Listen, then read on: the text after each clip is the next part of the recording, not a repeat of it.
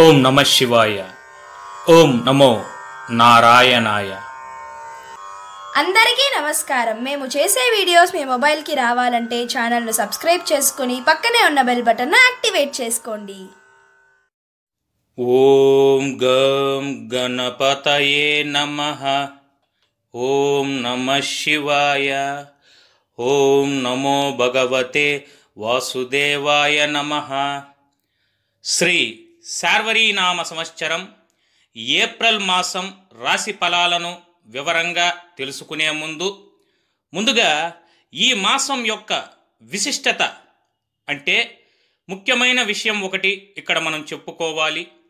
ఈ మాసంలోని రెండవ తేదీ అనగా ఏప్రిల్ రెండు గురువారం నాడు శ్రీరామ నవమి శ్రీరామ అంటేనే సకల పాపహరణం కలుగును.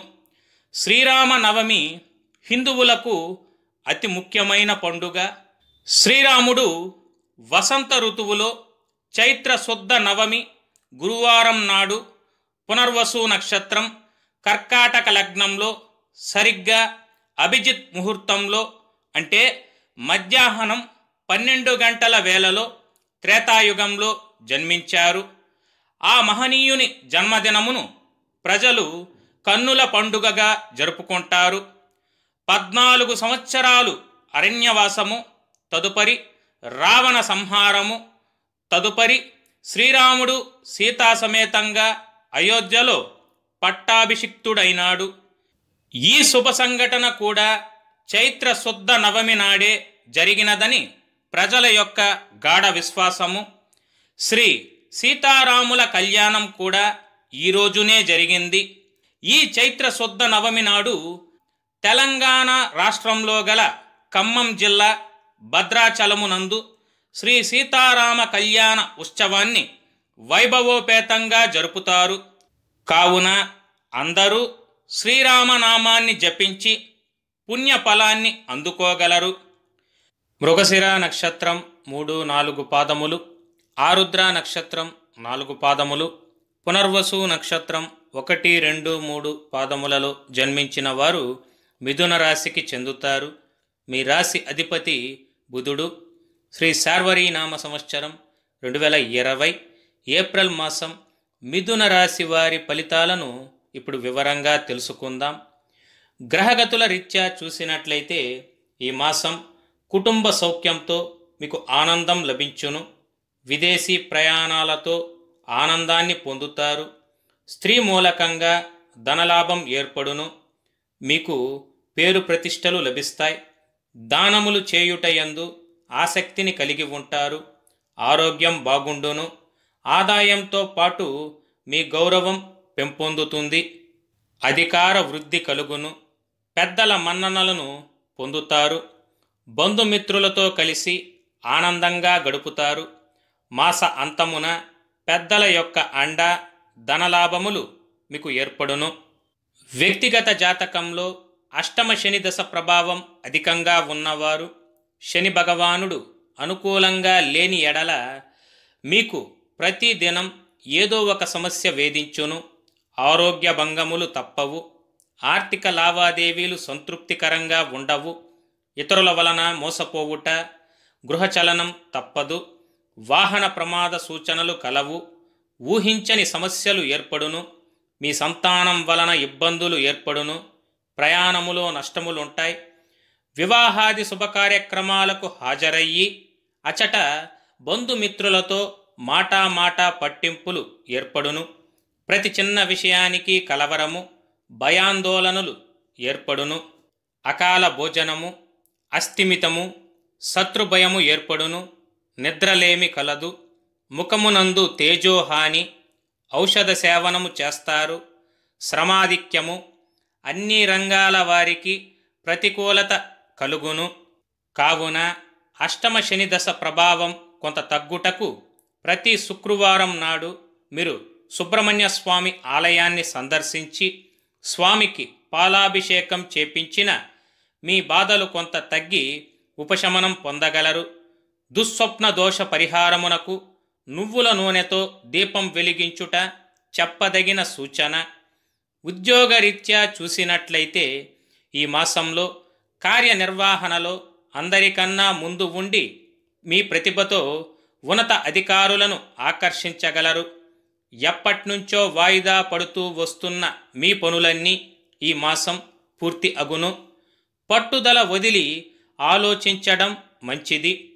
మీ సహోద్యోగుల సహకారం మీకు పరిపూర్ణంగా లభించును. వ్యాపార రీత్యా చూసినట్లయితే అన్ని రంగాల వారికి ఈ మాసం కొంత ఆశాజనకంగా ఉండును. మీరు ఆశించిన ధనాదాయం మీకు లభించును. నూతన వాహన యోగం కలదు. ఆర్థిక వ్యవహారాల రీత్యా చూసినట్లయితే ఈ మాసం మీ ఆదాయం కొంత హెచ్చు తగ్గులతో కూడుకున్నవిగా ఉండును. మీ రోజువారి అవసరాల నిమిత్తం అనవసర అధిక వ్యయాలు చేస్తారు. కొంతమంది రుణములు చేయవలసి రావచ్చును. ఆర్థిక వ్యవహారాల రీత్యా మీరు ఒకటికి రెండు సార్లు జాగ్రత్తగా ఆలోచించి నిర్ణయములు చేయగలరు. విద్యార్థులకు చూసినట్లయితే ఈ మాసం విద్యార్థులకు ఉన్నత విద్యా అవకాశములు లభించును. ఉన్నత విద్యలలో మీరు చక్కగా రాణిస్తారు. మీ మేధస్సును పదును పెట్టే సరైన సమయంగా ఈ మాసం భావించవచ్చు. మీ ప్రతిభను చూసి మీ పెద్దవారు గర్వపడతారు. ప్రేమ వ్యవహారాల రీత్యా చూసినట్లయితే ఈ మాసం ప్రేమికుల మధ్యన ఘర్షణాత్మక వాతావరణం తలెత్తును. కావున మీరు కొంత సంయమనం పాటించుట మంచిది. దంపతుల మధ్యన చిన్న చిన్న సమస్యలు వచ్చినను సమసిపోవును. మీ జీవిత భాగస్వామి వలన ధనప్రాప్తి లేదా స్థిరాస్తి లాభం మీకు ఏర్పడును. నూతన వస్త్ర లాభం కలదు. ఆధ్యాత్మిక చింతనతో గడుపుతారు. ఈ మాసంలో పది పదహారు పదిహేడు ఇరవై ఏడవ తేదీలు మీకంత అనుకూలమైనవి కావు. కనుక ఈ తేదీలలో మీరు ఎటువంటి ముఖ్యమైన వ్యవహారాలను పెట్టుకోకండి. ఆరోగ్య రీత్యా చూసినట్లయితే ఈ మాసం మీరు కీళ్ళ సంబంధ సమస్యలతో ఇబ్బందులు పడతారు. అధిక పని ఒత్తిడి వలన మానసిక ఒత్తిడికి గురయ్యే అవకాశం కలదు. ఇందువలన రక్తపోటు అంటే బీపీ అధికమయ్యే అవకాశం ఉన్నందున మీరు ప్రశాంతంగా ఉండేందుకు ప్రయత్నించగలరు. మీ ఆరోగ్యంపై తగిన శ్రద్ధతో వ్యవహరించవలెను. కావున పచ్చని కూరగాయలు పండ్లు పోషక పదార్థములను తీసుకొనుట చెప్పదగిన సూచన. నూనె పదార్థములు మసాలా పదార్థములను భుజించుట మానివేయండి. మీ ఆరోగ్య జీవన శైలిలో మార్పులు చేసుకుని పొద్దునే త్వరగా నిద్రలేచి సమయానికి భుజించి రాత్రి త్వరగా నిద్రకు ఉపక్రమించగలరు. అనవసర ఆలోచనలను వదిలివేయండి. యోగా ధ్యానం వాకింగ్ వంటివి అలవర్చుకొని విధిగా సాధన చేసిన మీరు మంచి ఆరోగ్య ఫలితములను పొందగలరు. చక్కటి పరిహారముల కొరకు మీరు ఈ మాసం శనివారముల యందు శ్రీ ఆంజనేయ స్వామిని పూజించుట శ్రీరామ ఆలయాన్ని సందర్శించుట వడపప్పు పానకాన్ని స్వామికి నైవేద్యంగా నివేదన చేసి భక్తులకు పంచిపెట్టిన మీకున్నటువంటి ఆటంకములు తొలగిపోవును. శ్రీరామనామాన్ని అనునిత్యం జపించుట వలన మీకున్న గ్రహ బాధలు పాపకర్మలు నశించి విశేష శుభయోగ ఫలితములను తప్పక పొందవచ్చును. శనివారం నాడు శ్రీ ఆంజనేయ స్వామికి తమలపాకులతో పూజ చేసిన విశేషంగా మీకు యోగించును. కాకులకు పక్షులకు కుక్కలకు ఆహారం పెట్టండి. లేనివారికి పేదవారికి మీకు తగినంతలో అన్నదానం చేయండి. ఇందువలన మీకు పుణ్యం లభించును. ఈ పరిహారములను శాస్త్రోక్తంగా నమ్మకంతో పాటించినట్లయితే మీకంతా సదా మంచే జరుగును. శుభం.